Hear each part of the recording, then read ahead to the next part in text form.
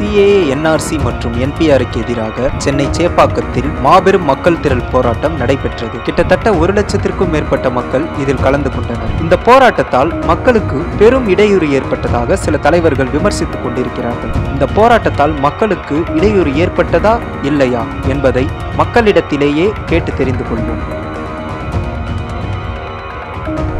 இப்போ அரசியல் தலைவரே வந்துட்டு போயிட்டு வருவாங்க. ரோடு பிளாக் பண்ணலையா? இந்தியன் சிட்டிசன்ஸ் ஆகிறதுக்கு வாய்ப்பு வந்து சிஏஏ தருது. ஆனால் அந்த வாய்ப்பு வந்து முஸ்லீம்களுக்கு இல்லை. சொல்ல போனோம்னா கமலஹாசன் ரஜினிகாந்த் வந்து இதை பற்றி எதுவுமே பேசலை. கரெக்டுந்தாமா பட்டுச்சு. இது தகவல் தெரியாமல் இருக்கு. அது தெரிஞ்சா இந்த காலத்தை இறங்கி முழு அவ்வளோ செய்ய துணை கொடுத்து நல்லா போராடி வெற்றி கொடுப்பாங்க அவங்க. அந்த உங்களோட கருத்து என்ன? அவங்க இதுக்கு அவங்க போராடுறாங்க ஜி. தப்பு கிடையாதுல்ல? அதுக்காக ரோட்லாம் பிளாக் பண்ணி நின்றுட்டு போராட்டம் பண்ணிட்டு இருந்தாங்களே. உங்களுக்கு டிராஃபிக் ஜாம் அந்த மாதிரி ஏதாவது? இப்போ அரசியல் தலைவரே வந்துட்டு போயிட்டு வருவாங்க. ரோடு பிளாக் பண்ணலையா அது மாதிரி நின்று அட்ஜஸ்ட் பண்ணிட்டு போக வேண்டியதுதான் அப்போ அவங்க போராடுறது கரெக்டுன்றீங்களா அவங்க உரிமைக்காக அவங்க போகிறாங்க தப்பு கிடையாதுல்ல. இந்த சிஏ போராட்டம் நடந்துட்டு இருக்குல்ல அதை பற்றி உங்களுக்கு ஏதாவது தெரியுமா? பத்து மணிக்கு ஆரம்பிச்சு மூன்றரை மணி தான்.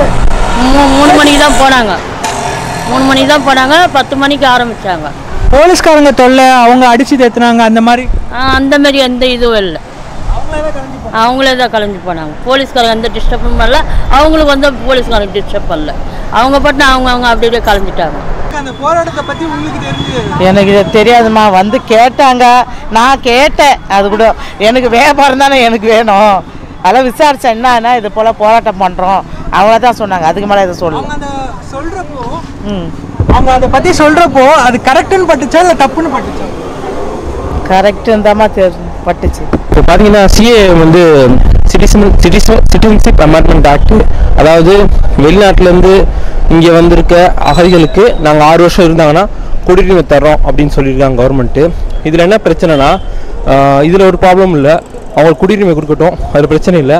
ஆனால் அதில் வந்து மத ரீதியாக இப்போ வந்து ஆப்கானிஸ்தான் பாகிஸ்தான் அண்டு பங்களாதேஷ்லேருந்து வந்த முஸ்லீமை தவிர மற்ற மதத்தினருக்கு வந்து நாங்கள் வந்து குடியுரிமை தரோம் அப்படின்னு சொல்லிட்டு இது சொல்கிறாங்க இப்போ நாங்கள் ஏன் போராட்டம் நடத்துனோம்னா இந்த சிஏக்கு அணி மட்டும் இல்லை.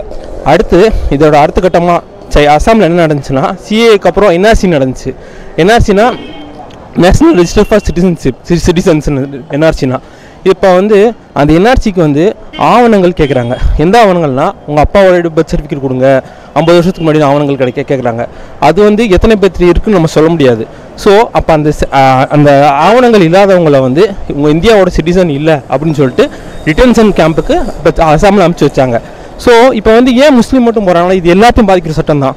ஏன் போகிறாங்கன்னா இப்போ வந்து என்ஆர்சியில் வந்து எல்லா யாராவது சிட்டிசன்ஷிப் இல்லை அப்படின்னு சொல்லி அனௌன்ஸ் பண்ணால் கூட திரும்ப வந்து சிஏஏ மூலமாக அவங்க வந்து இந்தியன் சிட்டிசன்ஸ் ஆகிறதுக்கு வாய்ப்பு வந்து சிஏஏ தருது. ஆனால் அந்த வாய்ப்பு வந்து முஸ்லீம்களுக்கு இல்லை. அதனால தான் நேற்று போராட்டம் நடத்துனாங்க. இதுதான் வந்து சிஏ என்ஆர்சியோட ஷார்ட் திஸ் திங் இதோட ஃபஸ்ட்டு வந்து என்பிஆர்னு வருது. அதான் கணக்கெடுப்பு. இந்த கணக்கெடுப்பு தான் ஃபஸ்ட்டு ஸ்டெப்பு அதுக்கப்புறம் என்ஆர்சி அடுத்து ஃபைனலில் தான் சிஏ வரப்போகுது. ஆனால் அவங்க பாஸ் பண்ணிக்கிறது ஃபஸ்ட்டு சிஏ தான் பாஸ் பண்ணியிருக்காங்க இதுக்கடுத்து அடுத்து ஒவ்வொரு ஒவ்வொரு சட்டமும் வரப்போகுது. அதுக்காண்டி நாங்கள் முன்னெச்சரிக்கையாக போராடணும் நேற்று வந்து சிஏயோட போராட்டம் பண்ணீங்க. சக்ஸஸ் ஆகும்னு நினைக்கிறீங்களா? இது எப்படி?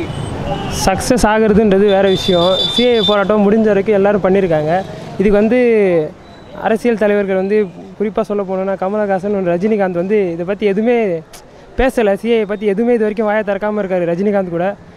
அவர் இதை பற்றி கொஞ்சம் பேசலாம். இந்த போராட்டம் கண்டிப்பாக வெற்றி படை வெற்றி பெறும் தான் நாங்கள் நினைக்கிறோம். சிஐயோட போராட்டத்தை பற்றி பொதுமக்களான சில பேருக்கு தெரியல. இதை பற்றி உங்களோட கருத்து? இஸ்லாம் மக்களுக்கு மட்டும் இல்லை மொத்தமாக தமிழ்நாடு மக்கள் இந்துக்கள் எல்லாரும் சேர்ந்து போராட்டம் நாங்கள் பண்ணோம். இது வந்து சிஎன்கிறது வந்து அதாவது வந்து இது எங்களுக்கு இல்லை எல் தலித் மக்களுக்கு எல்லாம் சேர்ந்தது. இது வந்து அந்த இதில் வந்து பதினாறு கேள்வி கேட்குறாங்க கேள்வி கேட்குறாங்க. அதில் வந்து என்ன கேள்வி கேட்குறாங்கன்னா உங்கள் பெயர் என்ன? உங்கள் தகப்பன பேர் என்ன கேட்கறாப்புல தகப்ப இருப்பில் சண்டை இருக்கிறப்பல தாத்தா இது பாட்டை கேட்குற பாட்டம் எங்கே போகிற சொல்லுங்க பார்ப்போம்.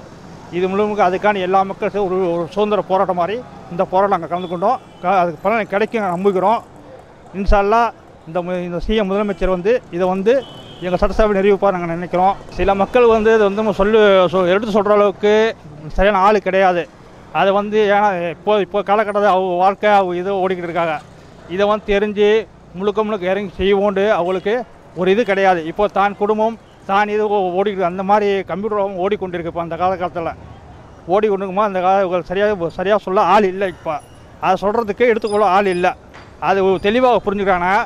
இன்ஷால்லா மாற்றா இந்துஸும் சேர்ந்து இந்துஸும் சேர்ந்து அதில் வந்து போராட த- களத்தை இறங்குவாங்கன்னுட்டு சில இந்துக்களுக்கு தெரியாமல் இருக்குது இந்து தகவல் தெரியாமல் இருக்குது அது தெரிஞ்சால் இந்த களத்தை இறங்கி முழுக்க அவ்வளோ சேர்ந்து துணை கொடுத்து நல்லா போராடி வெற்றி கொடுப்பாங்க அவங்க.